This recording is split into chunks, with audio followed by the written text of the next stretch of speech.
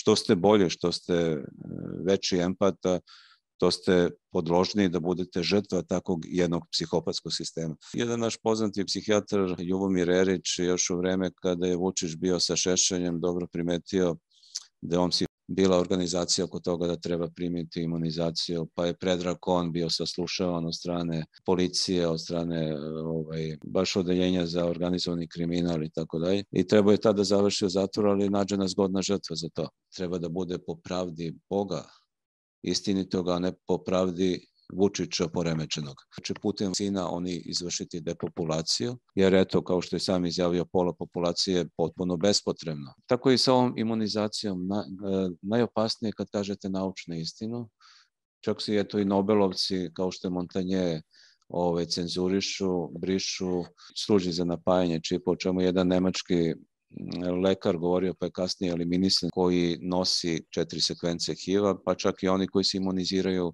više puta mogu. I koji preporučuje svojim pacijentima molitvu kao eto sredstvo za borbu protiv ovih entiteta, da je bolji psiholog nego što su ovi koji nisu toliko religiozni i koji to ne savjet. Šta vi mislite?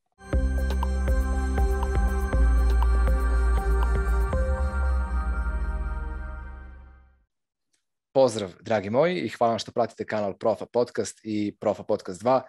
I kao što sam već govorio, cilj mojih kanala je širenje svesti i istine i svega onoga o čemu se ne priča mnogo na zvaničnim medijima, a trebalo bi da se otvoreno govori. I uvek nastojim da intervjue radim sa ljudima koji su profesionalci u svojoj materiji i koji su maksimalno posvećeni onome što rade. Zato je danas sa nama a, magistar Aleksandar Mitrović Metanoja, a, koji je psiholog i psihoterapeut, član Razvojne akademije nauka i Međunarodne Srpske akademije nauka i umetnosti i takođe član Istraživačko-obrazovnog centra. Specializirao je analitičku ili kompleksnu psihologiju i psihoterapijsku regresiju, a bavi se i vibracionom medicinom. Mislim da imate mnogo što šta pametnog i korisnog čuti od našeg Aleksandra, zato savjetujem da ostanete sa nama do kraja ovog intervjua, a link do Aleksandrovog kanala biće prvi dole u deskripciji, pa ga lako možete naći i zapratiti. Takođe će biti i sajt, uh, sajt koji se zove Vibraciona medicina, to je takođe sajt uh, Aleksandra Mitrovića, a uh, ostavit ćemo i broj telefona, tako da ga možete i kontaktirati. Aleksandra, oprostite na malo podužem uvodu, dobro mi došli. Pomože Bog, bolje vas naš. Bog pomogao. Uh, evo, za početak ovaj, ono što mene najviše interesuje, da li živimo u vremenima kada potreba za psihijatrima i psiholozima postaje sve veća. Ajde da kažemo neophodna. Pa nesumljivo ulazimo u jednu vrstu tehnokratske uh, ere koja ide ka obesmišljavanju života. Evo sad imate i Bill Gates je izjavio nedavno da uh, će polovina populacije na planeti biti ekonomski višak, uh, bit će beskorisna i to je jedan od razloga zbog čega oni idu na smanjivanje e, populacije, odnosno na de, depopulaciju putem raznih mera koje donose. Čak i Jeff Bezos izjavio da, da planeta treba da bude ovaj, neka vrsta nacionalnog parka kao što je Yellowstone, koji, koji će biti namenjena samo za elitu, a robovi će da rad, raditi u u uh, specijalnim svemirskim stanicama koje će kružiti oko planete. Mislim, koliko su to bolesni umovi. Dakle, kad živimo u jednom bolesnom psihopatskom svetu, što je jedan uh, uh, poljski psihijatar koji je preživeo nacističke logore definisao kao patokratiju, ili vladavinu psihopata, i on je otkrio psihopatsku tu većinu u, u vlasti, u političkim organizacijama i u, i u, biznis, i u biznisu i u firmama i tako dalje, jer uvijek psihopata ispliva na površinu. Ali ovo, ovo vaše pitanje je vrlo zanimljivo i hvala na njemu, jer kažem u tom tehnokratskom svetu imamo taj fenomen, odnosno proces regresije, Dakle, imamo proces e, regresije umesto procesa individuacije. Proces individuacije ima dve faze. Prva je ta ekstravertna faza, kad se čovjek priprema za život od detinstva pa nadalje i razvija ja svest, a druga da idu malobrojni ta introvertna faza, odnosno introspektivna faza kad čovjek upoznaje sebe, ali kao što treba upoznati sve, treba upoznati sebe.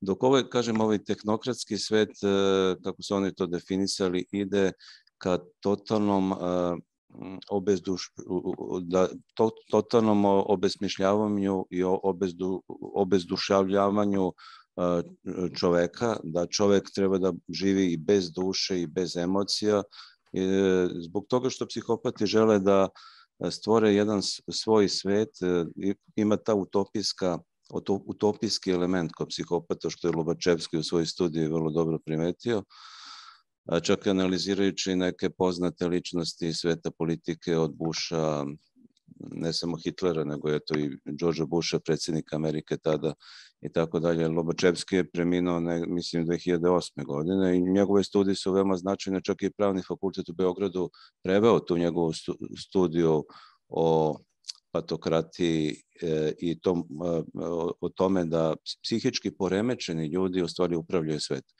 Dakle, tehnokratija vodi ka noogenoj neurozi, to je jedna vrsta neuroze koju je definisao Viktor Frankl, koji je osnivač tog trećeg pravca psihoterapije nakon Freuda, jeli, jevrein koji je preživao nacističke logore i onda je primetio da u, toj, tom trenutku uh, najveće patnje i najvećeg stradanja, jer postoji taj uh, ovaj, termin tražene patnje, jeli, tražene patnje preko koga čovek u stvari otkriva sebe, je taj skok od taj skok koji nazivamo metanoje, jeli, jedna faza oboženja u pravoslavlju, uh, skok pun, čovečijeg interesovanja, čovečije pažnje, jeli, tamo gde nam je pažnja, tamo nam je i svest, jeli, kao to je još bilo poznato još u vreme hinduizma kad su vežbali asane, na primer, i onda pošto danas su vas asane pretvorile u švedsku gimnastiku, što nije ta tradicija primordijalna koja je čak imati u Lepenskom viru jedan skelet nađen u lotos položaju, što je to ima što je asocira na jednu Tilakovu priču, Tilak koji je bio duhovni učitelj Gandija u arktičkoj prapostobini Veda, gde on primetio da da u stvari vede potiču iz e, severnih krajeva na osnovu sam, same analize rukopisa vede i tako dalje. E, također da kažem da e, je ta čitava priča oko teh, tehnokratije u stvari dovela do na neuroze danas u svetu, dakle gubitka smisla života, jer naj, ovi najbogatiji ljudi u stvari žive jedan besmislen život, život bez emocija, bez ljubavi, bez Boga, jer čim imate moć, vi postajete uh, vi, ima, vi ulazite u jedan fenomen psihološke inflacije, ali kada uh, vam se ja svest naduva, to je fenomen naduvanog ega, i gde pomišljate da, ste, da možete sve sa svojim novcem i sa svojim oči, da uh, jednostavno možete, da, da ste bogovi bez Boga. To je taj arhetip Boga bez Boga, odnosno arhetip mane ličnosti po Jungu. Uh, E, koji je u stvari najdublji arhetip u čoveku i koji je povezan sa, sa nagonom za samodržanje. Jeli? E, kod Freuda koji se bavio pre svega erosom i te od, od erosa i seksualnog nagona da stvori jedini nagon, jeli? odnosno da e, ovaj, napravi čitavu jednu psihoanalizu utemeljeno na samo jednom nagonu, to je jedan od nagona i to, to je takozvani homeostatički nagon koji se vrti u krug, jeli? kao što je glad, jeli, homeostatički nagon, imate dve faze, jedno, jedno je da ste gladni, drugo je da ste siti, isto tako kod seksualnog nagona. A drugo je, na primjer, su ovi heterostatički e, motivi kao što je ljubav, koji su razvojnog karaktera i oni nemaju, ne, ne vrte se u krug kao homeostatički motivi. Da, dakle, Freud je, e, ko, ko, u Freudovoj psihoanalizi imamo taj arhetip moći definisan u e, ja nagonu, posebno, a kasnije ga je Adler, definisao ovaj, u, svojoj, u svojoj psihologiji e, i na kraju na, Jung kroz svoju arhetipsku psihologiju, odnosno kolektivno nesvesno. Ali u suštini, kažem, e, današnji svet je, je projekt tih poremečnih psihopatskih umova, dakle i hrlimo ka jednom vrlo novom svetu, o čemu je pisao i Aldous Huxley, koji isto bio u, u toj njihovoj ekipi, ali, koji je od Tavistoka bio poslat u Ameriku da izvrši kontrakulturu, ši, šireći LSD e, e, filozofiju družit će se tamo i sa Ginsbergom i sa, sa, i sa, i sa Esalom institutom gde je bio i predavao, da je inače i Manson bio i tako dalje.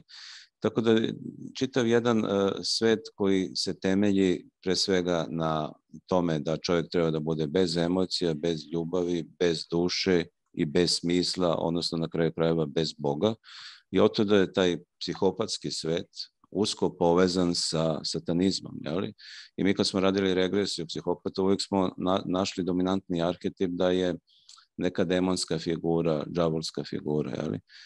E, to su oni videli tokom te regresije. Tako, e, tako da, eto, ovaj, to je taj odgovor na moje pitanje, ovaj, e, na to vaše pitanje i hvala vam na njemu.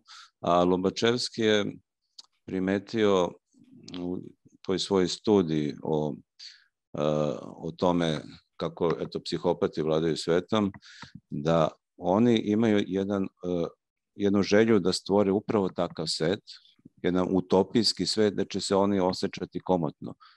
Jer psihopata sam po sebi se rađa bez emocija, ako je taj genovni psihopata genetski predisponirani, dakle rađa se bez emocija i on, on e, sam primečuje da se razlikuje od drugih i ne osjeća se komotno, mora da glumi ono što on nije. Ali mi kad glumimo nešto što nismo, mi trošimo odgovarajuću količinu libide, ali psihičke energije. Libido nije samo seksualna energija po Freudu, nego i psihička energija. Ali, kao što ne postoji seksualni nagon, ali, nego postoji je to i nagon samodržanja koji je vezan za arhetip moći, tako da je i razni drugi nagoni, motivi, ali heterostatički, homeostatički, tako da je.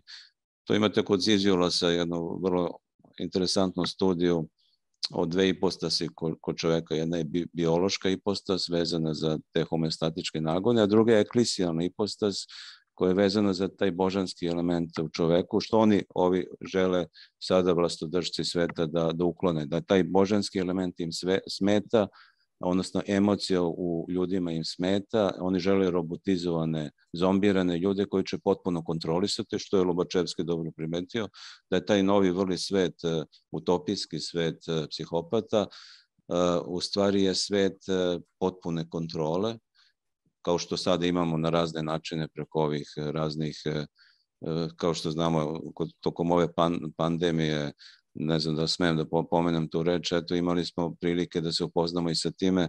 Ja sam inače član LRNA, jedne organizacije koja isto upućena u tome kako imate čak jedan patent izraelski gde su oni tačno odredili putem a, a, odgovarajućih čipova kako se kontroliše populacija koje mogu da se ubace a, intravenski i tako dalje, što se i dešavalo tokom ove pandemije i čak smo mi to registrovali na Bluetooth, imate jedan program e, e, e, na koji sad je uklonjen da možete tačno registrovati čipovanog subjekta, koliko je udaljen 1 metar, 10 metara. Onda u tom izraelskom patentu imate da, ovaj, podatke o tome zašto se, zašto se to radi. Pre svega, glavni cilj je da se spreči socijalna revolucija, onda se govori o tome kako čipovani subjekt može da se prati, da li posečuje crku, restoran, sa kim je u kontaktu, komunikacije. Dakle, imamo jedan zaokruženi psihopatski svet, da je sve pod kontrolom, dakle, svet bez emocija, ljubavi, bez duše, bez Boga, svet, e, dakle, demonizovani svet, ko, kome u stvari, u stvari oni teže. Pa čak ako gledate ovaj strukturu, strukturu Apple-a, ovaj, e, ona je totalno zatvorena struktura. Ima jednu tu psihopatsku karakteristiku kao i osnivač Apple što je bio otero svoju ženu, dete, imao je tu jednu psihopatsku crtu i tako dalje. Uopšte ti vođe tih velikih organizacija, firmi, e, da bi uopšte uspeli, oni se na nemolisedan način e, obračunavaju sa svojim konkurentima, saradnicima, kao što je to uradio i ovaj, osnivač eh, Apple koji u stvari nije sam osnovu Apple, nego sa svojim prijateljem koga je uklonio uopšte iz eh, te priče i na kraju umro od kancera pankresa, koliko, koliko ja znam. Eh, dakle, uvek treba imati u vidu da sve što mm, sejemo, to ćemo da požnjamo, ali postoji taj, taj, ne možemo da radimo drugima ono što ne želimo sebi da uredimo, jer ako tako postupamo, onda će nam se to vratiti kao bumerang. Naravno, ja verujem duboko u to, ajde kažemo e, pravoslavnim rečnikom u Božiju pravdu, a neko će reći karmu, ali ja da, duboko verujem da to ovaj, postoji. E sad, uh, ono što me zanima kad smo već dotakli tu temu, religiozni ljudi kažu demoni i demoni, demonizovanost, dok medicinska struka kaže to su psihoze, neuroze, šizofrenija. Da li je zapravo reč o jednoj istoj, potpuno istoj stvari, samo eto, se koriste različiti termini? Pa još e, moj e, duhovni učitelj Vladeti Jerotić govorio da, da su psihoze više posjednuče, jeli? i da kod psihoze treba se obratiti pre svega duhovniku, pa tek onda psihijatar. Pa i to zaista imate, ako gledate fenomenologiju psihoza, jeli, tu kliničku sliku psihoza, vi ćete vidjeti i uočiti, na primjer, kod jednog slučaja da bolesnik, odnosno pacijent ima halucinacije, da mu se javlja određeni lik koji mu određuje šta on treba da radi. On se čak osjeća loše ako se odvoji od, to, od tog lika koga vidi u svojim, u svojim halucinacijama. Čak mu on može naređivati da povredi roditelje, da, da povredi ili samoga sebe i tako dalje, što može da bude, što, što govori o toj demonskoj, demonskoj arhetipskoj pozadini tih halucinacija. Jer arhetipovi imaju, su ambivalentni, imaju tu on, on, on, oni se mogu predstaviti putem mnoštva simbola i mnoštva predstava, E, tako da, s jedne strane, ako imate slab ego i slabo svest, uvijek, uvijek će postojati ta kompenzacijska tendencija iz nesvesnog da se, da se proguta ta svest, odnosno da se disimilira tokom procesa regresije, To je još David Cooper, čuveni antipsihijatar, napravio distinkciju između duševne bolesti, duševnog zdravlja i normalnog stanja, normalne, prosečne psihe. Jer duševno bolestan čovjek, dakle, koji pati od duševne bolesti psihoze, a psihopatija je jedna podvrsta psihoze, mada to sada nije toliko usvojeno, ali ja se slažem sa Lobačevskim kad je on to tako definisao i to najopasnija vrsta podvrsta psihoze upravo zbog toga što može da uništi ne samo drugi ljude, nego i čitav svet, kao što danas vidimo. Dakle, kod duševno bolesnog e, čoveka imamo taj slab ego, sem kod psihopata, kod, njih imamo naduvani ego, i onda usled te na, prenaduvanosti ega imamo posenuče tim demonskim silama u, koje, postoje u samom čoveku, ne samo izvan čoveka, nego i u samom čoveku. To je ta holografska paradigma, deo je cijelina. Dakle, ono što postoji u nesvesnom, to postoji, postoji izvan čoveka. Tako da i u samom čoveku postoji slika Božja, ili javstvo, predstava javstva i Hristos, jeli? To je jedan ovaj, sveštenik jednom prilikom izjavio da se ne zna da li javstvo predstava Hrista ili Hristos predstava javstva. Sve zavisi iz kog referentnog sistema posmatramo i tumačimo takve pojave, da li kao vernici ili kao psiholozi. Ali? Tako da psiholozi uglavnom uh, imaju običaj da m, racionalizuju previše uh, uvode abstrakciju u neke stvari i tako u stvari zamučuju pravu suštinu. Jer vi možete jabuku da nazovete i da nazovete njenom, njenom hemijskom formulom i tako, ali nikad ne, nikada nećete saznati tu suštinu jabuke dok je ne probate. E, tako da e, u suštini e, je reč, kada je reč o psihozama, duševnim bolestima, uvek imate taj element duhovnog posjednuća demonskim silama koje postoje u samom čoveku i koji su izražaj arhetipskog, odnosno kolektivno nesvesnog i one se e, e, ispoljavaju, jer kao kad imate neki vir, on će vas napasti ako imate slabu imunitet. Jel? Tako i u ovom slučaju arhetipski, taj negativni aspekt arhetipskog u čoveku će napasti čoveka ako ima slabu, slabu svest, slabu ja svest, slabi kvantum libido koji je vezan za ja svest u to je u prvom slučaju, dakle u slučaju psihoza, a u drugom slučaju, u slučaju psihopatije, kad imate naduvanu svest, dakle prenaduvanu svest i onda usled te prenaduvanosti vi se odmaknete od Boga, pomislite da je vaš ego Bog, odnosno da je vaš ego, ego javstvo i na taj način želite da uništite tu tu e, duhovnu suštinu u samome sebi. To je kod psihopata. Dakle, dakle u jednom dru, i u drugom slučaju, kod psihopatije i kod duševnih bolesti psihoza, imamo posjednuče sa tim demonskim silama, odnosno sa tim arhetipskim silama i uvek je, kada je reč o duševnoj bolesti ili psihopatiji, uvek je reč o identifikaciji, o regresivnoj identifikaciji sa negativnim as, aspektom arhetipa, arhetipskim predstavama koje jednostavno disimiliraju ja svest kod psihoza, a kod psihopata daju im osjećaj još veće naduvane svesti i, uverovaju, i, i na neki način ih uvere da su oni bogovi bez Boga i da im ne treba ni sam Bog, nego da je džavo sad novi Bog, onaj kome treba da se klanjaju i kome treba da veruju.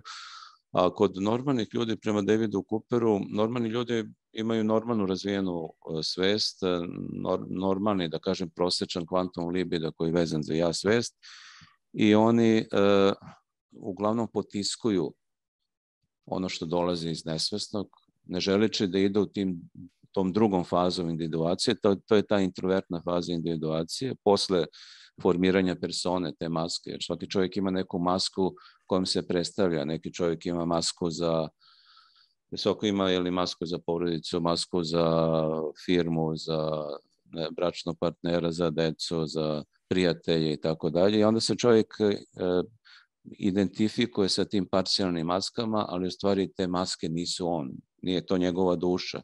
I da bi otkrio stvari sliku svoje duše, on mora da ide tim, tom drugom fazom individuacije, fazom introspekcije, introvertnom fazom individuacije, kada upozna, upoznaje sa, samoga sebe, svoju dušu, svoje nesvesne. Jel? I postoje određene faze, ovaj, te introvertne faze individuacije kojom niko ne ide. Jel? Odnosno, koju redko ko, koji čovek eh, ima snage da idem. Jer nije, nije to samo, imate u, u priči o Jovu i odgovoru na Jova, kojim se bavio, na primjer, Jung. Jeli. Nije samo ovaj, jer Jov je kažnjen iako je živao pobožnim životom, jeli. ali kažnjen od strane Boga i do, dozvoljeno je džavolu da kuša Jova upravo zbog toga što je Jov zanemario taj duhovni aspekt svoj. On je išao, jednom formalnom pobožnošću, zanemarujući suštinsku pobožnost. Vi možete da budete formalno pobožni, a da ostanete pagani iznutra. Tako da tako da, kažem, normalan prosečan čovek e, je poput Jova.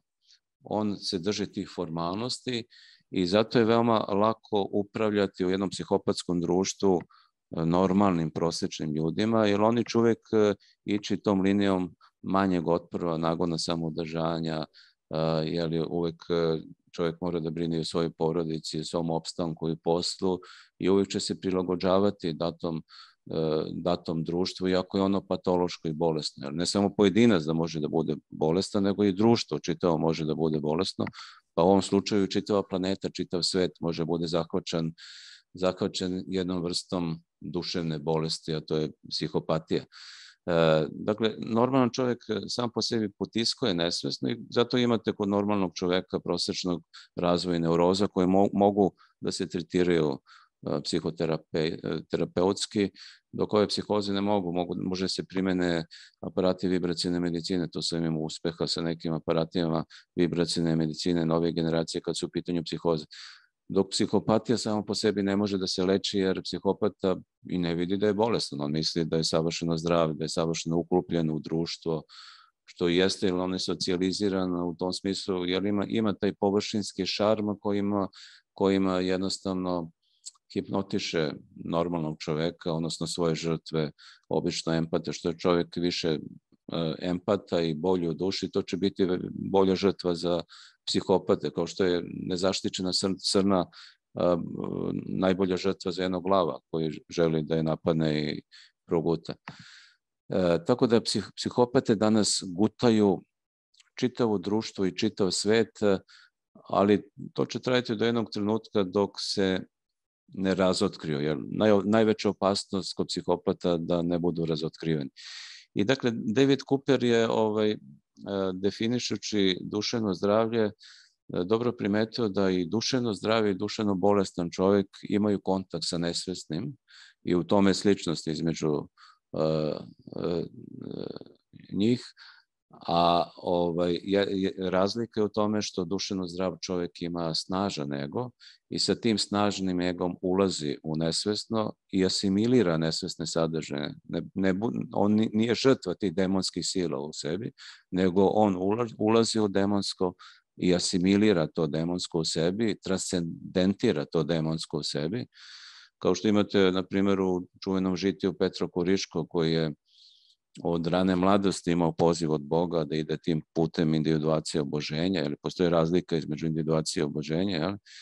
o tome je i Vlada Tjerotić pisao jednu knjigu interesantno i ovaj, dakle e, Sveti Petar Koriški je čak na tom putu kasnije napustio sestru što je izazvalo njegovo e, kajanje, je li neku vrstu metanoje tokom kasnije, kasnijeg njegovog oboženja, ali on je i tom prilikom živeći eto sam u dodiru sa, sa tim svojim nesvesnim video demonske prikaze koje snagom putem ne samo svojom snagom, snagom svoga ega, nego i putem Božije pomoći uspeo da asimilira i transcendira. Dakle, uvek kad idete putem individuacije koji nije ni malo lak, niti bezopasan put, to je na neki način i poziv od Boga, kao što je Petar Koriški bio pozvan od Boga. Dakle, vi ne možete da dovršite individuaciju, odnosno oboženje, bez Božije pomoći. I od to da kad tumačimo, na primjer, knjigu o Jovu, uvek treba imati u vidu da je to obastrano poistovećenje. S jedne strane, poistovećenje čoveka sa Bogom, Jova sa Jahveom, a s druge strane poistovećenje Boga sa čovekom, jeli? Jahvea sa, sa Jovom u trenutku najveće Jovove patnje i oto da je ta patnja nevolja, zato imamo taj termin kod Momčina Anastasijevića, najvećeg srpskog pesnika, tražene patnje, jeli? Nastasijević je govorio i o tome da je mistika so umetnosti, jeli? Taj, taj mistički element, duhovni element, jeli? on može da obogotvori umetnost i na tome se zasniva i temelji prava umetnost uh, od, od uh, književnosti do slikarstva i tako dalje. E, tako da mi treba da živimo na neki način van ovoga bolesnog sveta i da u sebi gajimo duhovnost i da se potrudimo da se obožimo i da postanemo bolji kao ljudi, ne samo prema sebi, nego i prema drugima. I na taj način, ako svi tako postupamo, imat ćemo i bolje društvo. Jeli? Mada u sadašnjoj situaciji čitav ovaj sistem koji e, vlada planetom pa i našom državom treba promeniti jer on forsira te bolesti individue da dođu na čelo države i da preuzmu vlast u državi. A kad sam govorio o obostranom poistovečivanju, pa to imate isto u trenutku kada je Hristos e, razapet i kada je uh, zavapio oče, oče, zašto me napusti? I u tom trenutku je kroz Hristovu usta, to je vladete Jeroteć jednom prilikom napisao u svojoj, u svojoj knjizi, a, da je u tom trenutku kroz Hristovu usta u stvari sam otac progovorio da se, da se sam otac, e, to je to obostrano poistovećenje. Jel? Dakle, u tom trenutku najveće patnje, te tražene patnje Momčela Nastasijevića, Bog u stvari se spušta i postaje, postaje sin, odnosno postaje čovek i bez te Božje pomoći mi sam proces individuacije i, i oboženje ne možemo da završimo. Tako da u suštini ne treba bežati od patnje, jer ljudska psiha je u toj meri konzervativna da da se ne da promeniti, ali ako je čovjek bogat, on može da bleje u plafon i da ništa ne uradi sa sobom, jel? Neće imati motiv da nešto uradi, da nešto radi i promeni na sebi. Kao što imamo osjećaj bola i onda kad nas nešto boli, onda idemo kod lekara da utvrdimo čemu je reč. Tako da kad imamo osjećaj psihičkog bola i nezadovoljstva, to je i patnje, to je jedan poziv da promenimo svoju psihu, da idemo tom drugom fazom individuacije, introvertnom fazom individuacije, da upoznamo malo i sebe, ne postoji samo svet van nas, postoji jedan jedan isto tako zanimljiv i veliki, još i veći svet u nama, koga treba otkriti, a o kome običan, prosečan čovjek ne zna ništa. Da, super. Ovaj, slažem se u potpunosti, pa ono, ono gde, gde vetar jako duva, tu drveće imaju, ima jače korenje.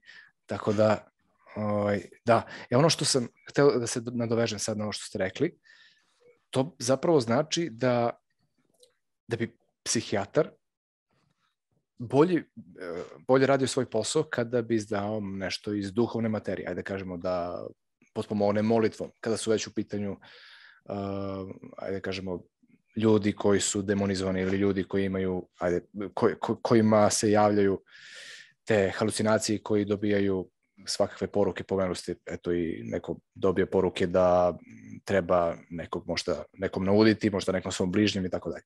Znači, to i zanima me ovo što ste rekli, uh, baš me zanima kad ste pomenuli da bolest, kao što bolest napada uh, loš imunni sistem, tako i ajde da kažemo, ove, ovi entiteti ili kako god da ih nazovem, napadaju oslabljeni ego. Da li je ego koji je oslabljen zapravo taj koji je previše vezan za jednu od krajnosti? Bilo minus, bilo, bilo plus. Dakle, bilo privržen nekoj svoj sreći, nekoj svojoj navici i, i on tu vidi sebe kao ovaj, ono, vezano za bilo šta zapravo, za skupe aute, za dobar posao, za bilo koji vid sreće. Ali kad je previše vezan za to, u smislu, ako mu Bog, to je život, ako mu to oduzme, on će se odmah uh, ono, razboleti psihički. E, da, pa imate više razloga ove slabosti ega. S jedne strane imate genetsku predisponiranost slab, slab, slabe Dakle, to može da bude genetski predisponirano, kao što su dušene bolesti u većini slučajeva genetski, genetski predisponirana, odnosno u svim slučajima. Dakle, postoji e, genetska pozadina dušenog oboljenja, odnosno slabosti ega. Postoji genetska pozadina, pozadina nadovanog ega. Jer psihopatija isto tako ima genetsku pozadinu, odnosno 4% psihopata su genoni psihopati, odnosno oni se rađaju kao takvi. I, dakle, mogu se, mogu se, a, mogu se definisati, odnosno odredi, odrediti njihova dijagnoza još od ranog detinstva, što ide kroz hiperaktivnost pa se dan, nadalje razvije. A, to je jedna stvar, ali druga stvar ako je čovjek e, doživi neki slom u životu, materijalni slom ili kao što ste ovi pomenuli nešto je vezan za materijalno, pa, pa mu se to oduzme. Imate onu jevresku kletvu da Bog da imao pa nemao. Ja. Jer ta, ta vrsta sloma može isto da pokrene taj proces regresije, proces slabljenja egra, e, što će jedva da dočekaju te demonske sile u čoveku i da otpočnu proces disimilacije e, e, libida koji je vezan za ja svest. Dakle, postoje prema jednom čuvenom psihijatru i filozofu, jeli, Karlu Jaspersu, koji inače jednom prilikom napisao da filozofija počinje sumnjom, jeli? Dakle, vi kad filozofirate i kada razmišljate, vi uvek razmišljate sa nekim kritičkim umom, jeli? E, sa sumnjom, jeli? dok s druge strane ljubav počinje sa verom. Jeli? Ljubav prema partneru, prema Bogu, za to vam je potrebna vera, ne sumnja. Ako ste u sumnji, onda ne volite. I zato uvek imate, kad, kad ste u e, kad, kad ste u emotivnom odnosu, uvek kad se uključi intelekt, on će da po, po, pokvari emociju. Dakle, e, ljubav se temelji e, na veri, a ne, ne na sumnji. Dakle, Jasper se definisao uh, granične situacije koje su veoma bitne kod nastanka uh, tih duševnih bolesti, odnosno kod nastanka slabosti ega. Pa imate u psihijatriji definisane kao diagnozu jeli, granične situacije, dakle između normalnog i psihotičnog stanja i tako dalje. E, dakle, čovjek može da, da bude u različitom stepenu oslabljenosti ega i neki događaj u životu, eto, neki psihički ili materijalni slom može da ga uvuče na ovu drugu stranu i da ga ubaci u psihotičko stanje. Dakle, ne, ne mora da bude genetski predisponiran za psihozu, ali može neka trauma životna da ga u toj meri oslabi jednostavno, u toj meri razočara u život e, i e, u toj meri da mu potonu sve, sve nade u neki boljitak i neku sreću, da, da taj ego bude razmrvljen i razdobljen sa samim životom, a ne, ne, a ne njegovim genima. I e, u takvoj situaciji možemo isto da imamo to da ego bude oslabljen i da bude laka žrtva za te demonske sile u čoveku, što smo eto mogli da vidimo, na primjer, u mnogim slučajima, na primjer, kod ljudi koji su bili, bili žrtve nacističkog progona, koji su preživjeli logore. S jedne strane imali smo ljude kao što je bio Viktor Frankl koji su pronašli smisao u sebi pored te patnje, a s druge strane imali smo one koji su uh, sarađivali sa, sa nacistima, koji su jednostavno, to je ta identifikacija sa agresorom, jeli? da su bili još gori prema svojim uh, sunarodnicima nego sami, sami ovaj, sa, sami ti čuvari tog logora, odnosno ljudi koji su radili u tom logoru. E, da, dakle, eto, kažem, taj, ta oslabljenost ega može da ima e, dve, dva uzroka. S jedne strane može da bude naslena, s druge strane može sama e, sami neki događaj u čovečijem životu da do, do, dovedu do tog procesa regresije i da dovedu čoveka u jednu, jednu vrstu bezizradnog stanja. Zato je veoma bitno i posjećivati psihologa i ne treba se libiti ako se čovjek nađe u graničnoj situaciji ili bilo kojoj situaciji gde mu treba psihička pomoć da poseti i posavetuje se sa psihologom, to ne znači da je on psihički bolestan, nego svakome u jednom trenutku životnom, svaki čovjek e, ne ide savršenom linijom, e, putanjom života, nego tokom života uvek ima neke traume i nevolje i uvek ima potrebu da se ispovedi nekome. I zato je psiholog tu veoma bitan, ne psihijatar, nego upravo psiholog, jer psihijatri se bave pre svega lečenjem psihoza putem lekova, dok e, psiholozi koji su specializirali psihoterapiju, oni su tu značajni, a isto tako može da se obrati duhovniku za neku vrstu duhovnog saveta. Koliko znam, kod nas se e, još rade i ti egzorcizmi, čak i u Beogradu imamo, koji isto tako mogu da budu od pomoći, naročito, naročito kod tih demonskih posesija. Ja. kažem, psihoze su, možemo ih definisati upravo tako kao što ih je Jerotež definisao kao demonske posesije sa, sa tim demonskim predstavom, odnosno arhetipskim predstavama koje postoje u kolektivnoj psihi? Pa da, ja u suštini mislim da psihijatar ili psiholog ko, ko e, je zašao, ajde da kažemo, donekle u duhovnost ili koji je religiozan, koji se bavi molitvom, koji se moli i koji preporučuje svojim pacijentima molitvu kao eto sredstvo za borbu protiv ovih entiteta da je bolji po meni ovaj, psiholog nego što su ovi koji nisu toliko religiozni i koji to ne savjetuju. Šta vi mislite? Da, to je moj dragi prijatelj Dejan Raković uvijek isticao značaj molitve. Uh, on, on je inače recenzirao moju drugu knjigu koju se bavi odnosom uh, kvantne psihologije, kvantne uh, fizike i psihologije. Postoji istraživanje svesti u kvantnoj fizici koja je eto, čak i dominantno danas uh, upravo u kvantnoj fizici, pa čak i najveći kvantni fizičar i najveći matematički fizičar, uh, kvantni današnjicer uh, Roger Penrose, upravo piše o tom istraživanju svesti u okviru kvantne fizike, čak i Neumanovo tumačenje kolapsa talasne funkcije vezano za svest, ali kod Neumana bez svesti nema kolapsa talasne funkcije, odnosno te redukcije kvantne superpozicije i onda je ovaj, Penrose sa Hameroffom, čuvenim psihologom iz Kanade, uh, uh, ovaj, definisao jednu uh, teoriju svesti, dakle kao kvantni fizičar definisao teoriju svesti vezano za mikrotubule koji imaju male kanaliče i tako dalje i do, gde dolazi do odlaganja po toj teoriji kolapsa talasne funkcije, tačno u onom opsegu frekvencija kojim, kojim su definisani moždani talasi. A u biofizičkom modelu svesti svest je pre svega vezana za moždane talas. Dakle, Dejan, Dejan Raković je uvek isticao, koji inače naš najveći to svetski fizičar i kvantni fizičar i tako dalje, pored Đure Koruge, Dejan Raković uvek isticao značaj molitve, jer molitva po njemu jedina može da reprogramira taj meta program koji živimo, jer svi mi kao ljudi živimo jednu vrstu meta programa koji smo usvojili prema, ako gledamo regresiju koju, prema kojoj to sve odredio Michael Newton tokom svog istraživanja. Inače, jedna moja draga prijateljica je bila na njegovom institutu i bila njegova desna ruka zajedno pre toga kod Erika Perla i tako dalje, bavit će se rekonekcijom.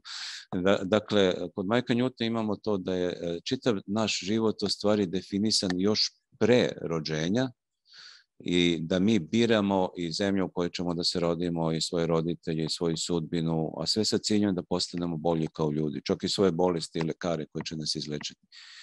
I taj meta program koji nije savršen, koji smo izabrali po Rakoviću, može da se može da se izmeni ovaj, jedino putem molitve e, i jedino putem molitve po njemu možemo da izmenimo te neke delove našeg meta programa i da ga poboljšamo. E, e, I tako da inače Dejan ima jednu vrstu kvantne medicine u Beogradu, baš ovde na Vračaru gde sam i ja. E, tako da je to i jedna vrsta budućnosti, ta kvantna medicina i vibracijna medicina. Ali kažem, ono što možemo na psihičkom planu da uradimo e, najbolje za sebe, je ne samo da, da ne, ne samo ta molitva, nego jednostavno da preispitamo ono što smo činili tokom života i da se pokajemo za neke loše stvari. Ali iskreno pokajanje u srcu je ravno oproštaj od strane Boga. E, dakle, svaki čovjek tokom svog života čini nešto što ne bi volio da čini ni prema sebi, ni prema drugima.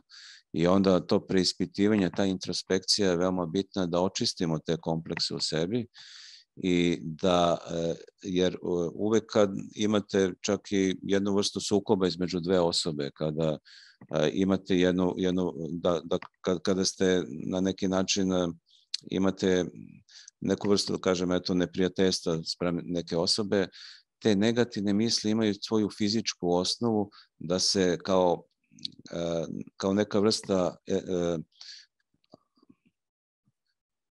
astralne larve zalepe za biotelo, odnosno za astralno telo čoveka. Jeli.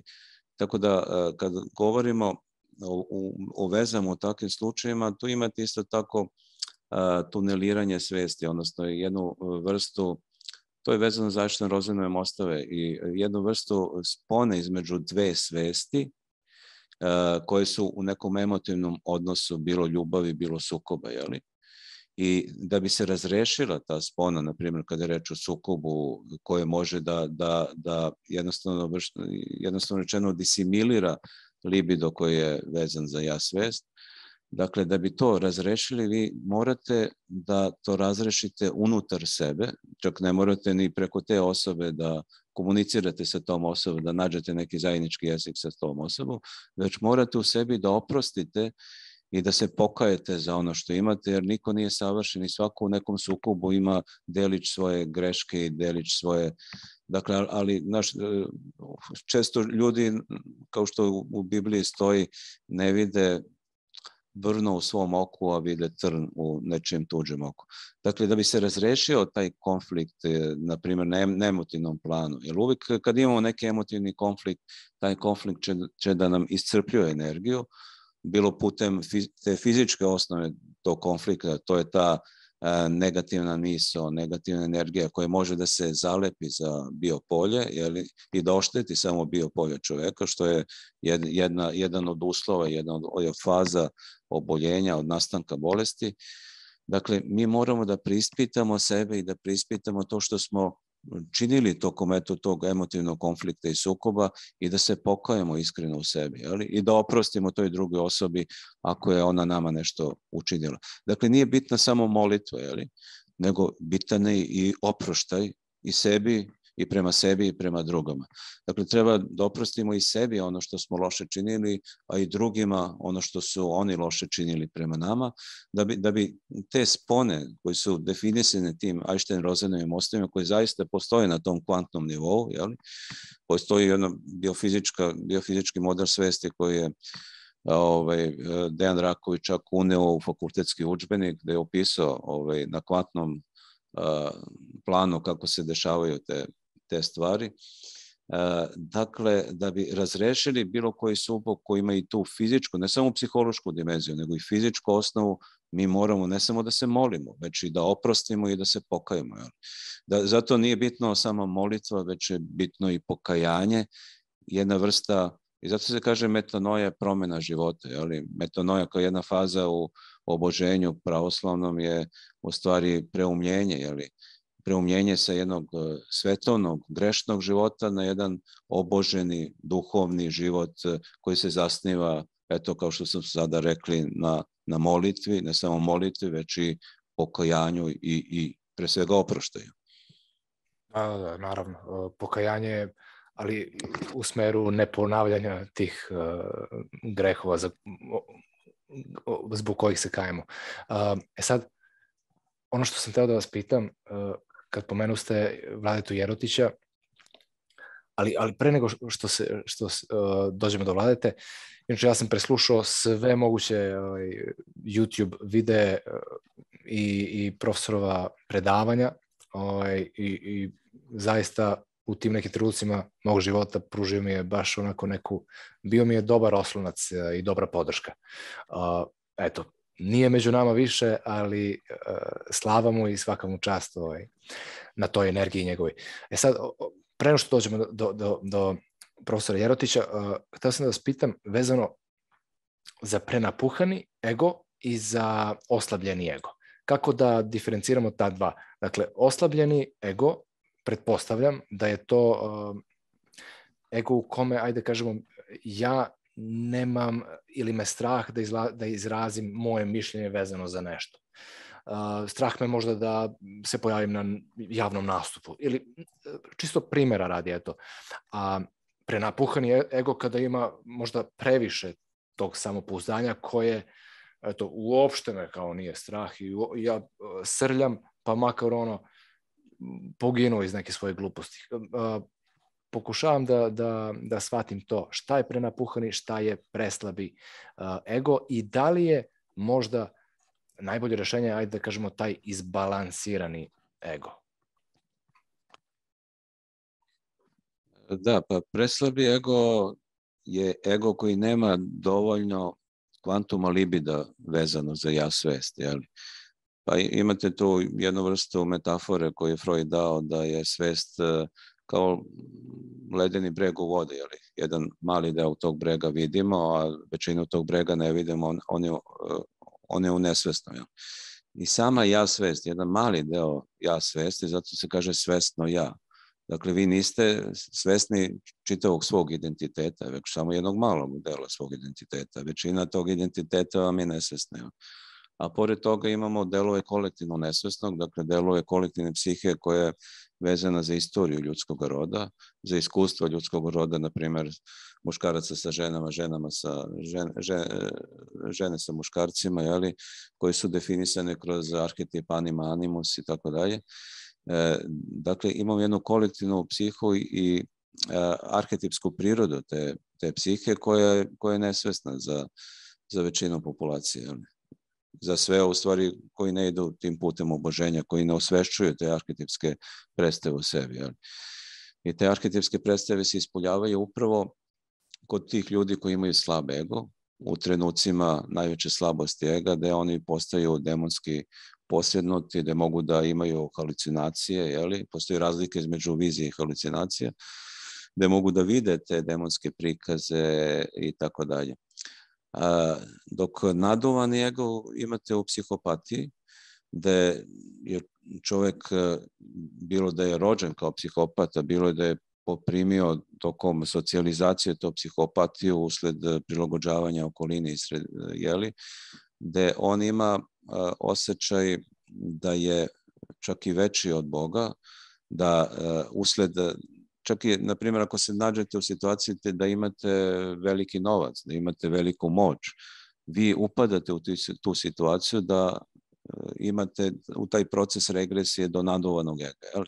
Da, dakle, imate osjećaj da sa tim novcem i sa tom oči možete da kontrolišete ljude oko sebe, da možete da kupite bilo šta, da, nema, da nemate nikakve prepreke u životu, da, malte ne da ste Bog. I to je taj proces gde vi možete da steknete taj uh, uh, naduvani ego tokom sam, samog života, to, tokom samih događaja, jeli? što ne mora da se znači, se zavisi od pojedinca. Ali uh, uglavnom ljudi koji dobiju, na primjer, političku moć, kao što imate danas kod nas, jeli? vlastodržci koji uvek dođu na vlast i onda se od jedan put promene, dožive jednu vrstu psihološke nantiodromije. Jedno pričaju pre dolaska na vlast, drugo pričaju ovaj, kad dođu na vlast. Oni jednostavno vidite u njihovi čak i fizionovi jednu vrstu promene, da ne, ne govorimo o, o tom njihovom psihičkom nastupu, odnosno o, o njihovoj psihologiji, o, o njihovom političkom nastupu i tako dalje. Tako da je jedan naš poznati psihijatar Uh, Ljubomir Erić još u vreme kada je Vučić bio sa Šešeljem dobro primetio da je on je bio dobar kliničar, u to vreme je radio sa, sa Milom Alečković, to mi ona ispričala, i oni su bili zajedno u Francuskoj, kasnije Mila prevodila Piaget ovde e, na, za, za nas, e, ovaj, mislim da je to bilo Nolitovo izdanje Piaget. Tako da, e, hoću da kažem, e, uglavnom e, se forsiraju takve osobe koje imaju predispoziciju za prenadovani ego, jer je, jer se one uklapaju u čitav taj sistem ljudi koji kontrolišu ovaj svet, svet koji imaju taj, taj kompleks nadovanog ega i nažalost, eto, to je takva situacija, ali problem je što u društvu koje se zasniva na tom nadovanom egu, odnosno na psihopatama koji vladaju tom jednom društvu, imate situaciju da mnogi ljudi se prilagođavaju takvom jednom sistemu i onda upadaju sami u tu igru moći, u želju da steknu moć e, na, na lak način, tako da ste sad imali e, razne, e, e, evo sad čitamo u tabloidu što je Brkić objavio da ovo što se danas dešava u našoj zemlji, da je jedna vrsta genocida nad sirotinjom, jeli? da imate e, i sudsku mafiju, izvršiteljsku mafiju koja oduzima ljudima stanove, za minorne dugove i na taj način se e, bogate oni koji su uključeni u čitav taj sistem prevare pre svega nad sirotinjom, pošto su sve rasprodali, sad su krenuli da pljačkaju e, siroti narod. Dakle, kad imate situaciju da psihopate vladaju državom, onda imate državu koja je usmerena protiv e, svog sobstvenog naroda. Pa čak eto i u Nišu ste imali jedan slučaj sa porodicom Savjeć koji su pokušali na prevaru da otmu imovinu, odnosno kuću, na osnovu falsifikovane priznanice, koja, imala, koja nije imala ni tačan matični broj, imala faksimil umesto potpisa, matični broj sa više cifara pogrešan.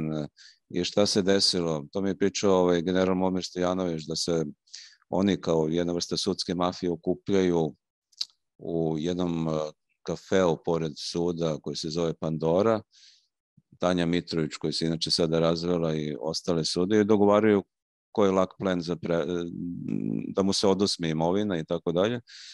I to je trajalo, mislim, nije to od sada, to traje više godina, ali ne, tako da je u to bio uključen, na primjer, e, Dušan e, Ranđelović, koji je bio glavni čovek koji je bio zadožen za prevare na terenu za falsifikovanje tih priznanica, koji falsifikovao priznanice ne samo kad su u pitanju pojedinci, nego i firme i koji u toj meri eto izmenjene svesti, naduvane svesti, nadovanog ega, psihopatski izmenjene svesti, da čak je kad je u zatvoru, kad smo razotkrili tu čitavu prevaru, čak i u zatvoru pokušao da falsifikuje meni, da ovaj, optuži uh, državu da eto, ne daje dovoljnu porciju mesa, nego to oni koriste tamo u zatvoru za sebe, pa, pa je eto i na osnovu toga uh, optužen sad krivično i za tu, i za tu vrstu prevare. Dakle, vidimo u koj, kojoj meri uh, ti ljudi poremećenog uma koji, koji meri tim ljudima poremećenog uma omogućeno da učestvuju u sistemu, što jednostavno da je sistem postavljen na zdrave noge, na normalne noge, ne bi bilo moguće. Pa čak i eto, u Niškom studu imate veštaka Lazara Cvejića, koji ima samo kurs, a ne i licencu, što je, bi bilo normalno da ima jedan veštak, i koji ima više od 90 godina veštači, I upravo on veštači u ovom slučaju porodice Savić, gde je bio uključen Ranđelović kao glavni prevarant i Tanja Mitrović koje je sudilo to suđenje. I desilo se da taj veštak presudio da ta falsifikovana priznanica u stvari verodostojna, do kasnije to je e, opovrgnuto u Beogradu na veštačenju. Dakle, hoću da kažem da imate e, jedan čitav sistem da, da se takvi ljudi, e, prevaranti, psihopate, ludaci, da oni postaju forsirani u takvom jednom sistemu koji se zasniva na tom nadovono ego, na psihopatiji, a da normalni ljudi budu žrtve toga sistema. Što ste bolje, što ste veći empata, to ste podložni da budete žrtva takvog jednog psihopatskog sistema.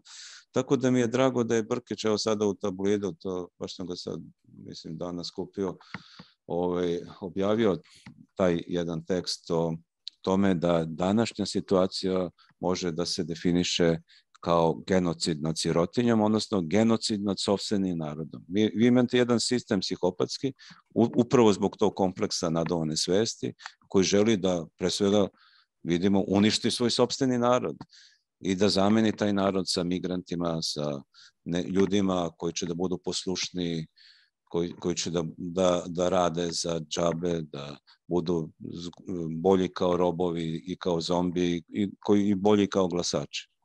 Dakle, e, čitav taj, e, ta priča o nadovojnoj svesti nije opasna samo za tog čoveka koji pati od te nadovane svesti, za razliku od ovog čoveka koji pati od oslabljene svesti jeli, pa i taj koji pati od oslabljene svesti može da bude naveden od strane tih demonskih prikaza u sebi, kao što sam imao prilike kod raznih pacijenata da čujem da povredi roditelje, da ubije roditelje, da ubije neke ljude oko sebe, ali je mnogo veća opasnost e, od te naduvane svesti, jeli?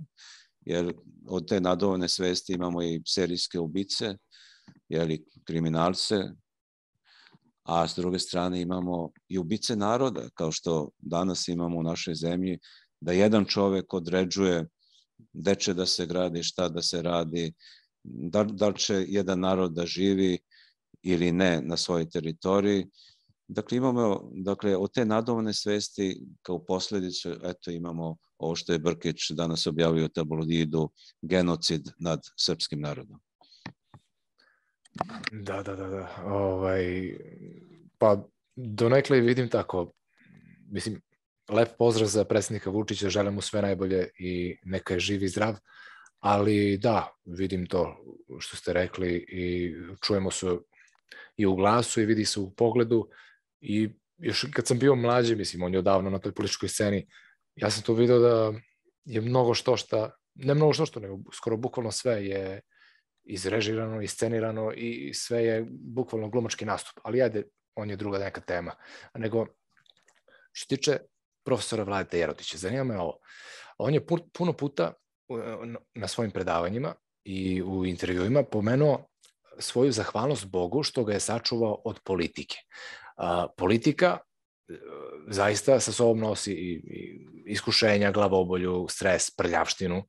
Međutim, u ovim vremenima evo ovih posljednjih par godina, možda je, jeste zapravo bilo potrebno umešati se u politiku i reći, reći ne nošenju brnjica, re, reći ne tim uh, njihovim um, strogim merama distanciranja, zatvaranja i tako dalje. Šta mislite o tome?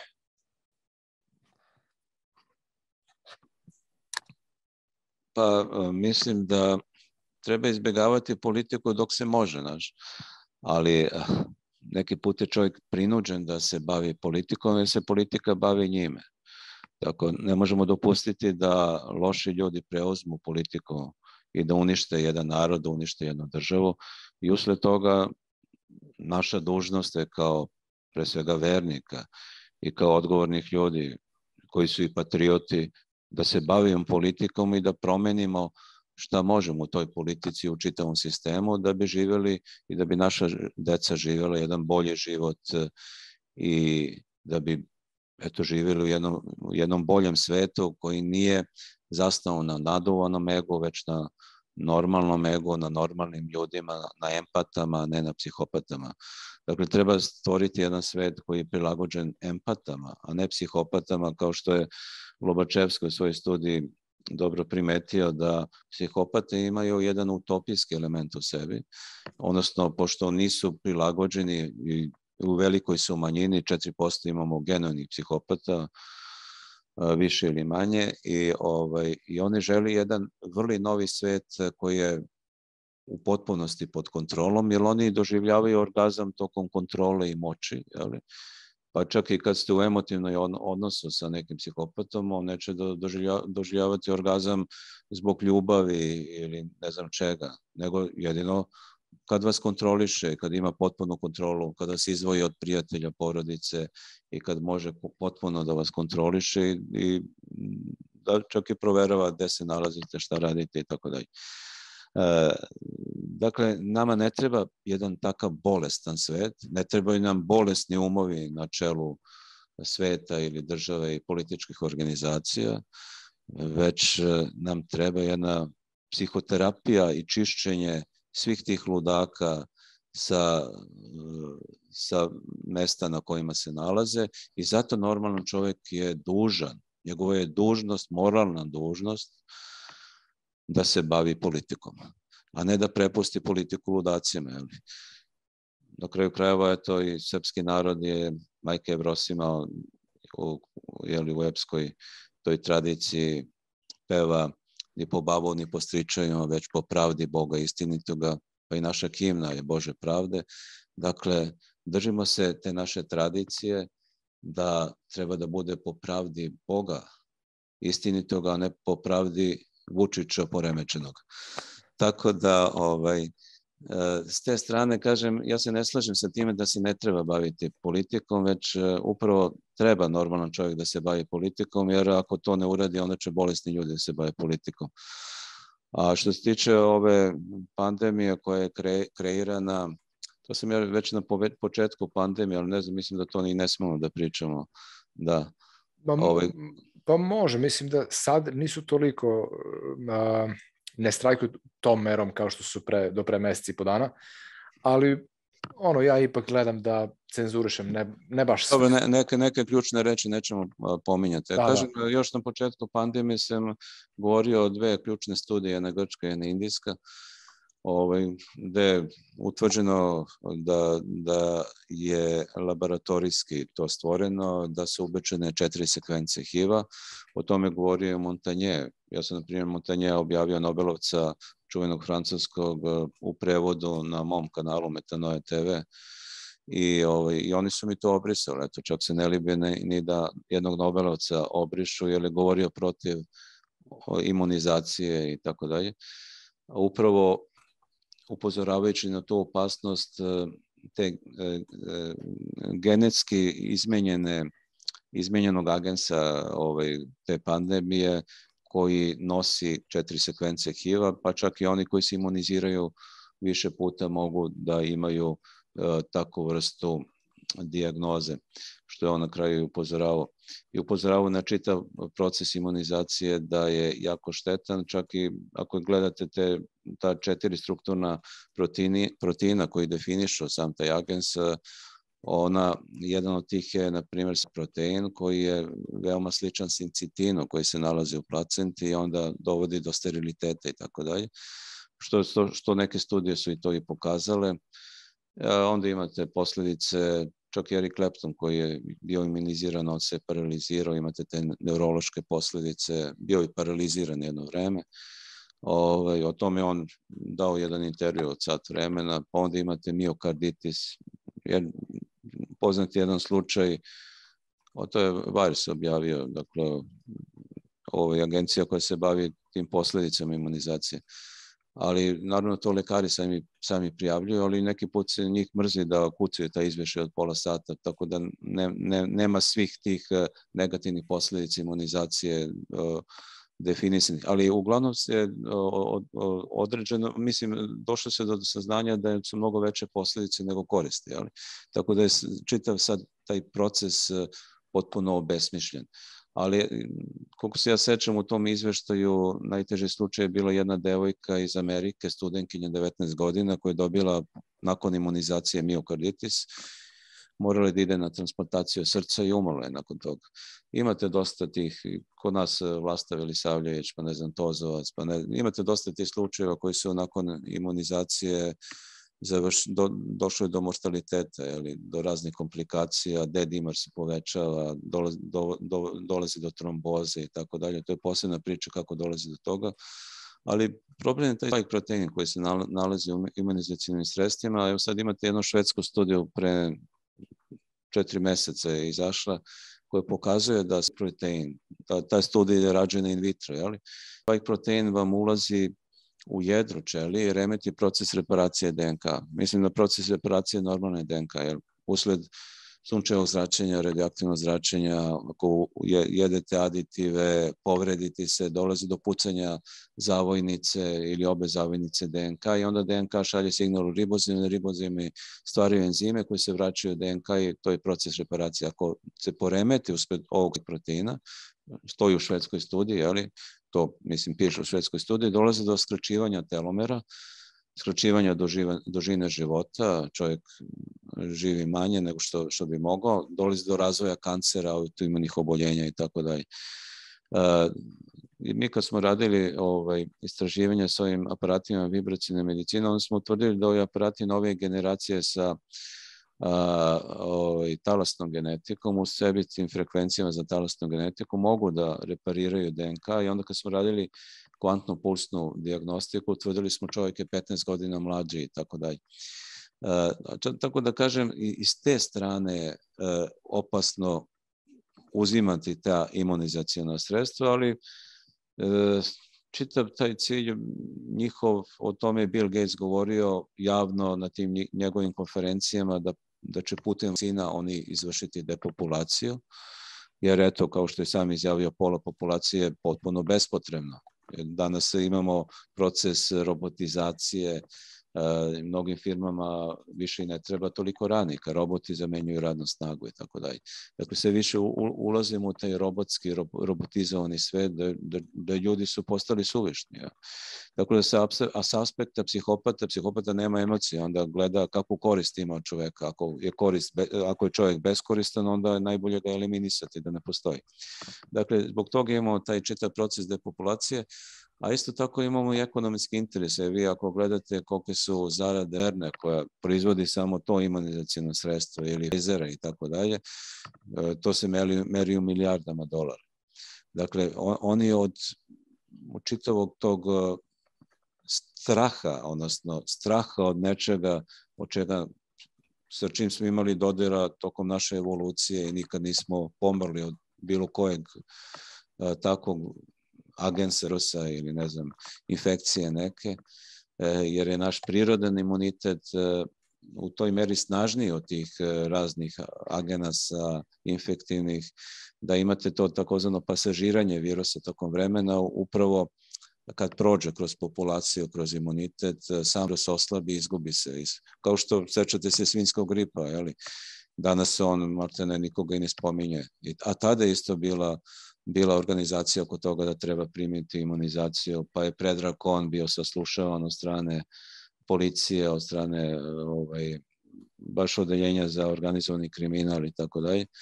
I treba je tada završio zatvor, ali nađena zgodna žrtva za to. E, dakle, oni su pokušali tad sa svinskim gripom, nisu uspeli, a sad su poseali baš dobar strah i na osnovu tog straha su izvršili ovu imunizaciju i čipiziranje, jer vi kad gledate e, to je taj izraelski patent e, o kome sam govorio, da je glavni, glavni njihov cilj, on, u tom patentu je navedeno da sva imunizacijona sredstva koje su registrovane strane Svetske zdravstvene organizacije imaju čip u sebi. To je vezano i sa granoksidom i tako dalje, koji služi za napajanje čipa, o čemu jedan nemački lekar govorio, pa je kasnije eliminisan, sećam se imao je mladu devojku koja je baš bilo uznemirena zbog toga. Dakle, danas je najveći problem ako kažete neku naučnu istinu. Pa i kod nas, Kovića želi da oteri se univerziteta, uh, Đorđe Jankovića se oterali pa je kasnije umro zbog svega toga, zbog istine, arheološke istine o tome da su Srbi ovde bili pre zvaničnih seoba i tako dalje. Uh, on je našla arheološke dokaze za to. Dakle, tako i sa ovom imunizacijom. Uh, najopasnije kad kažete naučnu istinu, čak si eto i Nobelovci, kao što je Montanje, ove, cenzurišu, brišu i, i čitava ta e, pa i čitav te društvene mreže od Facebooka do, do Instagrama, ne znam, do YouTubea, su organizovane na toj cenzuri istine, naučne istine. Vi danas e, na društvenim mrežama ne smete da kažete naučnu istinu. Odmah ćete biti cenzurisani i bit će vam ukinuti nalog. Jeli? Bit ćete zabranjeni kao, kao osoba, kao, koja, koja remeti taj, tu psihopatsku dogmatsku istinu koju, koju oni žele da, da populacija čuje, čuje jer, jer oni se, kažem, ti psihopati koji vladaju svetom najviše plaše da budu razotkriveni. A ta, ta istina ih razotkrije i ako, ako ljudi znaju istinu, neće više živjeti u strahu, jer oni kontrolišu populaciju putem straha. I kad su posejali taj strah, oni su lako mogli da ubede stado da, da se imunizira, da, da jednostavno našteti svom zdravlju, niko ne bi štetio svom zdravlju i unosio nešto u sebe o čemu i ne zna šta je, da, da nema straha u sebi. Jel? Tako da, da su mediji e, koji su pod njihovom kontrolom naravno uradili veliku stvar da, da zastraše narod i putem to, tog straha u stvari oni vladaju svetom, a ta naučna istina koja ruši tu psihopatsku dogmu ih najviše plaši, jer i zato je ona i zabranjena na tim društvenim mrežama i na medijima. To niko i ne sme da spominje, ko to je kao neka vrsta tabu teme, jeli? Da ne budete zabranjeni kao ličnosti, kao naučnik, da ne budete otpušteni sa fakulteta i ukinuti i izbrisani iz svih e, njihovih ustanova i tako dalje. E, tako da e, mi, mi smo eto pozvani ne samo da se uključimo u politiku, jeli, nego mi imamo moralnu dužnost da govorimo i o toj naučnoj istini i da, zar, da razotkrijemo te psihopatske laži i njihove manipulacije i da više ne živimo u strahu, već u normalnom svetu koji se zasniva ne na strahu i kontroli, već na ljubavi i poverenju. E sad, možete li nam reći uh, nešto više o tome kako je čovek uh, kao duh i telo i kako je čovjek i energija i materija i uh, znam da ste govorili već o tome kako smo mi vi, kako je svaki svaka osoba je vibracioni entitet. Da li, uh, mislim, već rekao smo da će budućnost pripasti vibracionoj i kvantnoj medicini, a eto, šta nam možete reći o, o tom vašem metodu rada i, i o vibracionoj medicini kojom se bavite?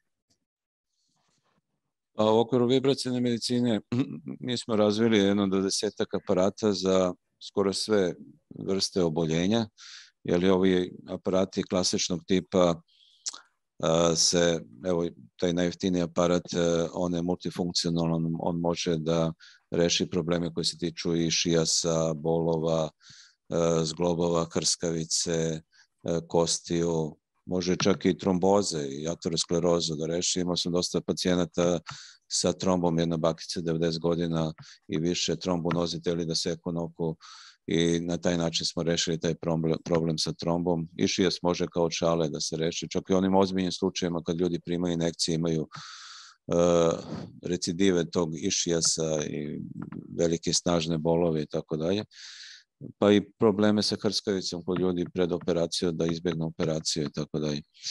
A imamo ove frekvencije koje su vezane za uh, infekcije, za mikroorganizme, to su frekvencije doktorke Clarka, doktora Rajfa, pa i za teže oboljenja kao što je kancer i sarkom. Jer, uh, eto, da ovako laički uh, približim, ovaj, sve ima neku svoju frekvenciju rezonance. Jel? Naprimjer, čaša ima frekvenciju rezonancije i kada pogodite glasom frekvenciju rezonancije čaše, ona će da pukne. Tako svaki mikroorganizam ima svoju frekvenciju rezonancije i kada pogodite, znate tu frekvenciju, pukne membrana, jer biva tog mikroorganizma, odnosno biva uništen taj mikroorganizam ili bolesna čelija, čelija kancera.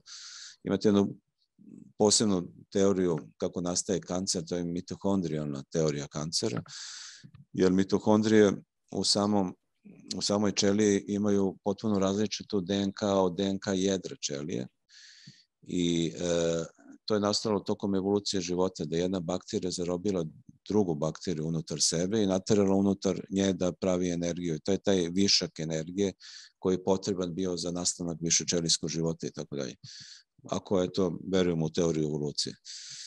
Ali, mislim, to je posebna priča između evolucije i kreacionizma, jer ona ne može da se razume dobro bez eh, kvantne teorije, kvantne fizike i kvantnih informacija, teorije kvantnih informacija.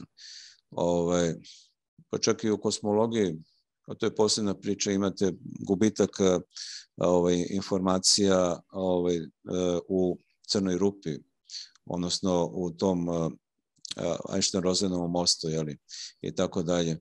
Mada se te informacije ne gube, već bivaju sačuvane na obodu crne rupe, uh, odnosno na obodu Einstein-Rosenovog mosta. Tako imate kod kliničkih, oni koji dožive kliničku smrt i prolaze kroz Einstein-Rosenov most u holografsku dimenziju, oni na obodu vide neke slike iz svoje svesti, izvučene su, bivaju im izvučene slike iz svesti, čitao svoj život ili neke svoje prijatelje, rođake i tako dalje. A na kraju tunela vide svetlost, ta svetlost je u stvari svetlost njihovog unutarnjeg bića, javstva, pa čak imate u, apof, u apokrifonu evanđelju po tomi, da oni koji koji su čista srca, oni će u središtu tog svetlosti videti lik Božiji. U tome je suština. Jeli? Dakle, imate tu mitohondrijalnu teoriju kancera koja govori o tome da su mitohondrije sasvim e, drugu, imaju sasvim drugu DNK što i jeste i da jednostavno kad se poremeti DNK u jedru čelije usled raznih faktora, Uh, jedan od faktora može bude imunizacija, jeli, naroče da sa ovim, sa ovim novim, novi, novi vid imunizacije koji može da promeni samo, sa, samo, samo genetsku informaciju, uh, da onda dolazi do razvoja u, u stvari kancera, jer e, mitohondrije se onda razmnožavaju na svoj primordijalni način, a to je pupljenjem i tako dalje. I, e, dakle, vibracijna medicina je jedina koja može putem, na, putem frekvencija da e, razlikuje normalnu čeliju od patološke čelije, od čelije kancere. Sama čelija kancer ima posebnu frekvenciju u odnosu na normalnu čeliju i na taj način ciljano može da eliminiše čeliju kancera iz tela. Ima su dosta ljudi koji su imali kancer, pa i moja prijateljica tumor hipofize koja se izlečila upravo putem eh, tih aparata na bazi frekvencija ovaj, bilo doktorke Clark ili doktora Rajfa. A aparati nove generacije se e, o, imaju različite frekvencije. S jedne strane frekvencije talasne genetike za reparaciju DNK, s druge strane frekvencije za revitalizaciju epifize koje se kalcifikuje tokom vremena, li epifiza je naročito aktivna kod dece, li odatle dolazi onaj adrenokrom koji je danas eto, ovaj, kao eliksir mladosti. Zaista mi kad smo, dakle, kada revitalizujete epifizu, onda imate i više energije i podmladiti se na neki način. I kad zaista kad smo radili kvantnu pulsnu diagnostiku, posle upotrebe tih aparata nove generacije, videli smo da je čovjek 15 godina mlađi i više. I onda ti, ti aparati pospešuju sinaptogenezu, neurogenezu, svi ti aparati nove generacije imaju skalarno polje, skalarne talase koji su jako bitni za proces iseljivanja, izlečivanja od raznih bolesti. Sa skalarnim poljem je radio, na primjer, Bruno Grening, čuveni nemački isceljitelj rođen u Gdansku bio na istočnom frontu zarobljen od strane Rusa i Rusi ga proglasili za, za, e, za, Nema, za nemačkog raspučina, jer tamo lečio ne samo svoje e, sunarodnike, već i Ruse. Ali kasnije kad se vratio u Nemačku, bilo je dovoljno da stane u jednom prostoru gde je bilo oko hiljada i više ljudi i nije mo, mo, morao ništa ni da kaže, ni da se pokrene i mnogi ljudi su ustajali iz bolesničkih kolica koji su nepokretni, izlečeni od kancera, izlečeni od raznih teških oboljenja i od lakih oboljenja kao što su glavobolje i tako dalje. I to je on definisao upravo kao Božju energiju, odnosno kao to skalarno polje koje danas znamo da pokreće čitav kosmos na ubrzano širenje.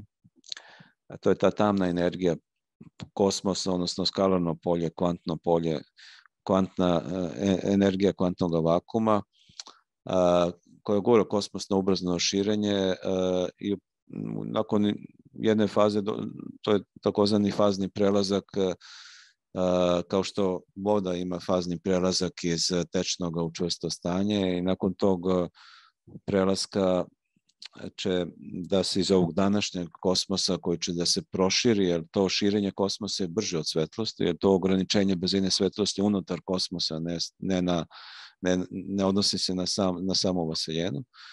E, dakle, nakon tog faznog pre, prelaza doći do nastanka jednog novog kosmosa i tako dalje. E, da, e, dakle, ta skalarna energija je, kažem, u toj meri snažna, najsnažnija energija u univerzumu, Božja energija, da je i Hal Putko koji jedno vreme radio za CIU, zajedno s Ingo Svonom na remote viewingu, on je radio i na tom i, i, istraživanju te energije polja nulte tačke, odnosno na istraživanju toga da se iz te energije polja nulte tačke, odnosno energije kvantnog vakuma izvuče iskoristi za stvaranje električne energije. Jer ta e, energija kvantnog vakuma je u toj meri snažna da može da služi za napajanje čitave planete električnom energijom. E, I tako dalje. Dakle, e, reč je o najsnažnijoj energiji u, u vaseljeni i ona može da se iskoristi i eto i putem vibracijne medicine i putem onih ljudi koji sprovede tu Božju energiju kroz sebe, kao što je bio Bruno Grening, i za lečenje odgovarajućih bolesti i većine bolesti. I mogu da kažem da sam imao dosta uspeha, e, naročito sa tim aparatima novije generacije koji imaju to skalarno polje u lečenju raznih e, oboljenja, čak i ozbiljnih oboljenja, čak, pa čak i duševnih bolesti. Ali kažem, oni koji su zainteresovani više za vibracijnu medicinu mogu meni da se obrate na broj telefona 069 720 775 a Centar za vibracijnu medicinu se nalazi u Beogradu kod Hrama Svetoga Save. Eto, ljudi, čuli ste. Ovaj, e, hvala vam puno, Aleksandar, na ovom intervju. Mislim da, je, da, je, da ste podelili sa nama mnoge korisne informacije. Evo imam još jedno samo pitanje za kraj, ne bih vam više oduzimao vreme, znam da ste, da ste zauzeti.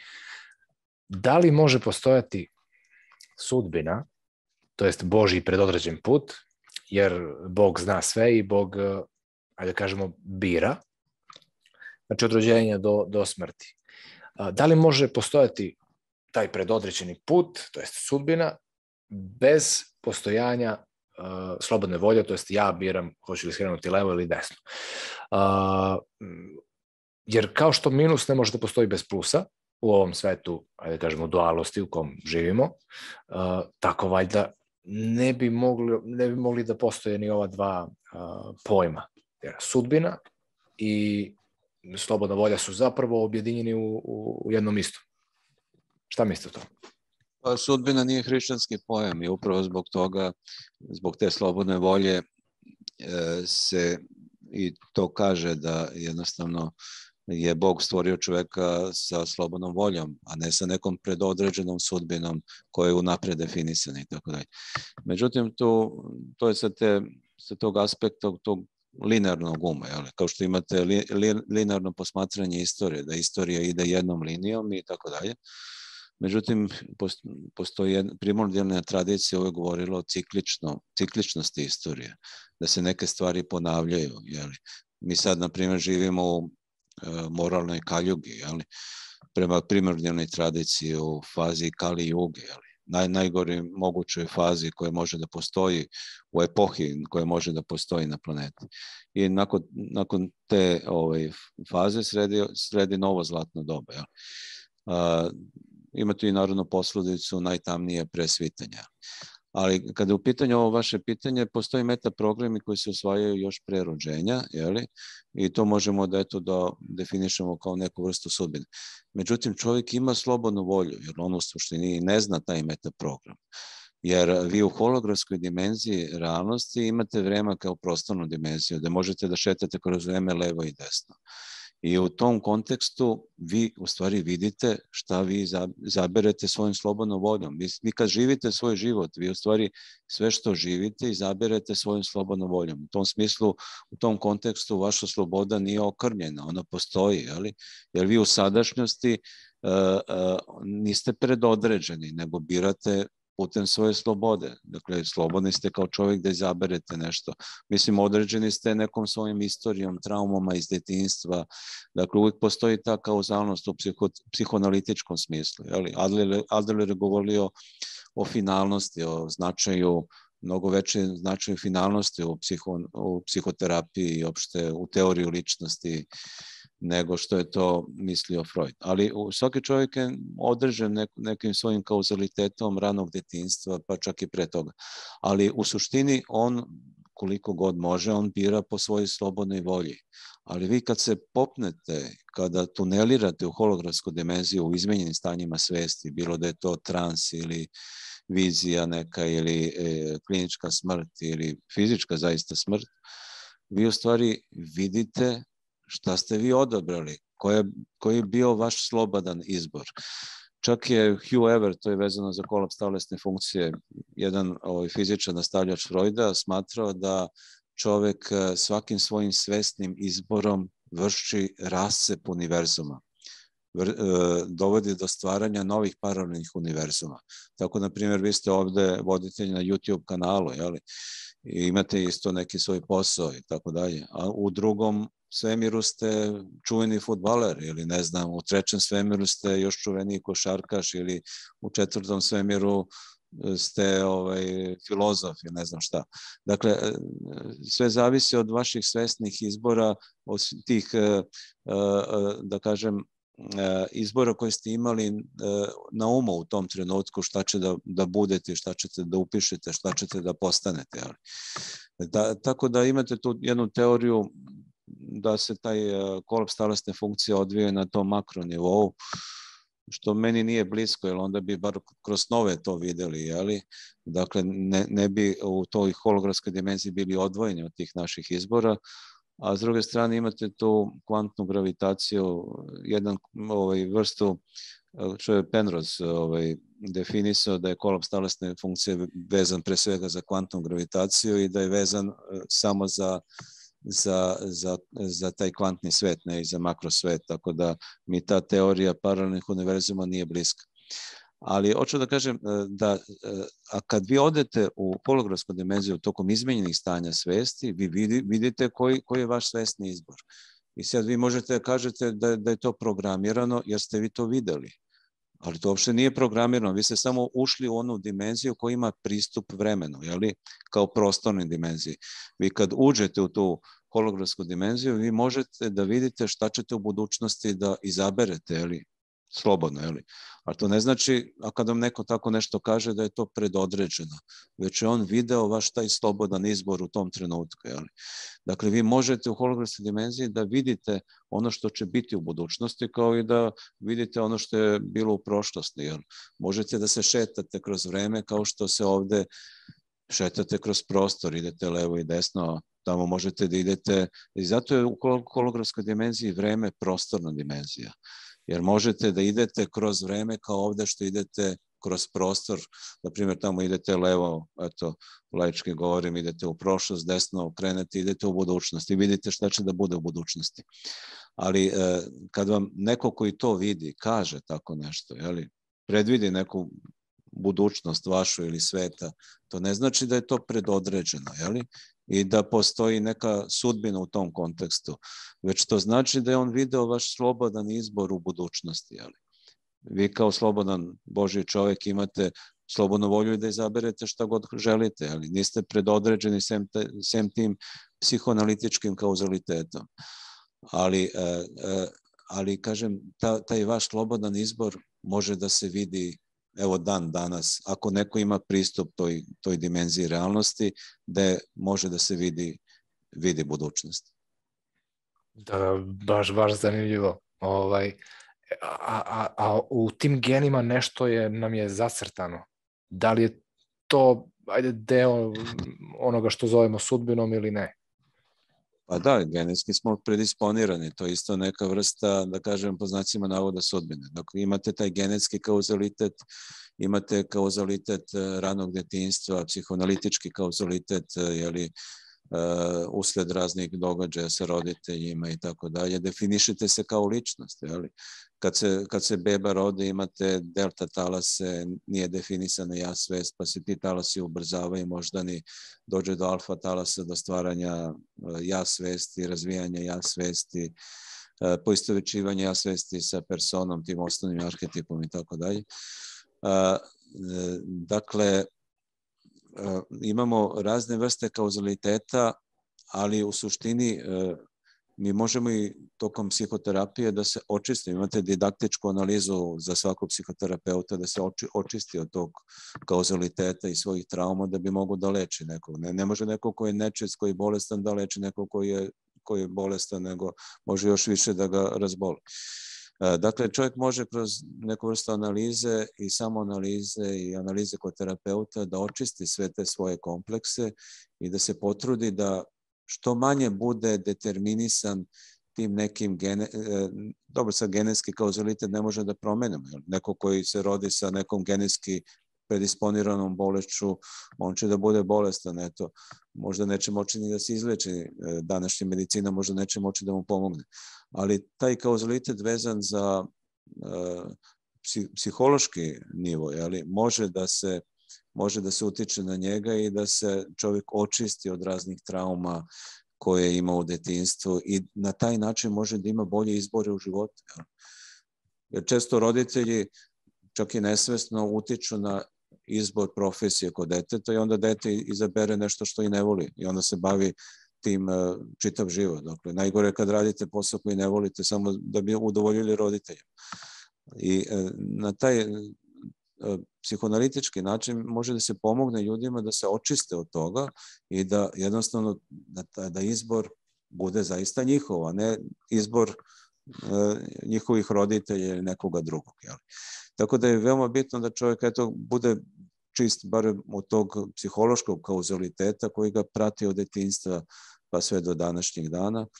A tu, ovo, eto da pomenem ponovo mog dragog prijatelja Dejana Rakovića, profesora, inače, koji je sada u penziji, koji je bio po, profesor na elektrotehničkom fakultetu, ovaj, da ovaj, eto, i molitva je u tom smislu veoma značajna da čovjek taj kauzalitet zaobiđe i da jednostavno taj njegov izbor bude zaista njegov izbor, a ne izbor nekog arhetipa ili e, nekog iz njegovog detinstva, jer čovjek e, često ima razne misli, jeli? I misli da to on u stvari razmišlja, ali često se dešava da te misli budu definisane iz nesvesno, kroz arhetipsko nesvesno i bivaju ubačene u svest. Jeli? Tako da u, u svakom slučaju veoma je bitno da čovek očisti sebe od raznih kompleksa, da, im, da bi imao pristup svom pravom identitetu i da bi na pravi način izabrao u ovom životu svoj život i, i da kažemo svoju sudbinu, iako sudbina, kažem, nije hrišćanski pojam, već je pre svega to sloboda čovek, čovečija da, da izabere svoj životni put i čovek je slobodan i od Boga slobodan da izabere ono što želi da bude i postane, pa može i da izabere svoj propast na kraju krajeva, ali to je njegova sloboda i Bog mu daje tu slobodu, ali sve to, kažem, nije sudbinski predodre, predodređeno, već čovjek treba da se potrudi da ipak te kauzalitete na neki način očisti u sebi da bi od sebe načinio čoveka kojeg želi da postane i bude i da bi bio srećan na životu. Super. Uh, Aleksandre, hvala puno na, na današnjem gostovanju. Hvala puno i svim gledalcima koji su ostali do, do ovog poslednjeg momenta intervjua sa nama. To znači da, da ipak uh, vam se nešto ovde svidelo, pa eto hvala puno na vašoj pažnji. Eto, još jednom da vas podsjetim, imate Aleksandrov, Aleksandrov kanal, zove se Metanoja Balkan i možete ga ovaj, zapratiti, bit će dole link prvi u deskripciji, a tu su i njegovi kontakti, kontakt telefon koji ću također ostaviti u, u deskripciji vezano za ovaj sajt njegov vibracijona medicina.